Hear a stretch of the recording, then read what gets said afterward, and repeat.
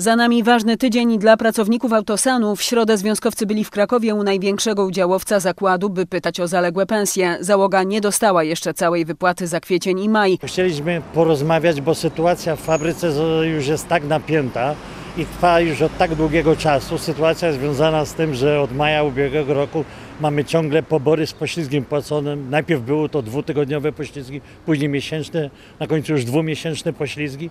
Chcieliśmy porozmawiać, pożalić się i spróbować powalczyć o nasze, nasze prawa, bo, bo wszyscy zapominamy w tym kraju, że podstawowym obowiązkiem pracodawcy jest płacenie w czasie, w określonym terminie e, poborów za wykonaną pracę. Choć z samym sobie Sławem Zasadą nie udało się porozmawiać, to spotkanie się odbyło, a pracownicy usłyszeli, że wkrótce znajdą się dla nich pieniądze. Załoga będzie miała wypłacone zaległe pobory za miesiąc maj w całości, czyli w 100%, najpóźniej do 8 lipca do godziny 10.00.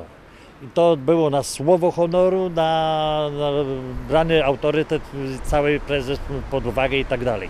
Czyli może się okazać, że wcześniej to wpłynie, ale najpóźniej może wpłynąć 8 o godzinie 10.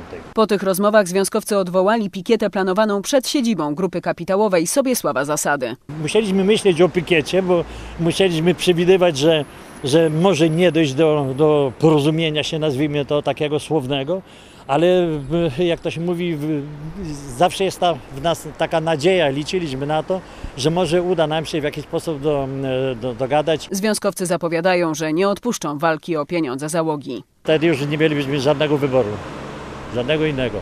Oczywiście takie pikiety, takie wyjazdy, my zdajemy sobie sprawę, bo my nie mamy parcia, jak to się mówi, na szkło i nie chodzi nam o to, żeby zdobywać jakąś y, tanią sensację, żeby robić. Ale jeżeli byśmy zostali przymuszeni, oczywiście traktowalibyśmy to jako ostateczność, jako ostateczny nasz oręż, który mógłby i fabryce przynieść szkodę, ale na pewno by też splendoru nie przeniósł właścicielowi. Obietnica zaległych pensji nie przerwała spekulacji. W Autosanie mówiło się, że Rada Nadzorcza i walne posiedzenie akcjonariuszy mogą się zakończyć ogłoszeniem upadłości firmy. Na szczęście Autosan nie ogłosił upadłości i ludzie nadal będą mieli pracę. Jak udało się nam dowiedzieć, wokół fabryki ciągle kręcą się potencjalni inwestorzy, którzy chcą dofinansować zakład. Zarządzający nie chcą za dużo mówić na ten temat, ale potwierdzają, że rozmowy ciągle są w toku. To jednak nie jedyny sposób, w jaki Autosan szuka pieniędzy. Władze fabryki starają się bowiem o dotacje dla firm borykających się z problemami finansowymi z Ministerstwa Pracy i Polityki Społecznej.